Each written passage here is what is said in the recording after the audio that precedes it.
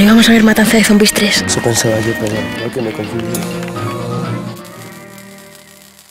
Sensacine, películas, cartelera, 3.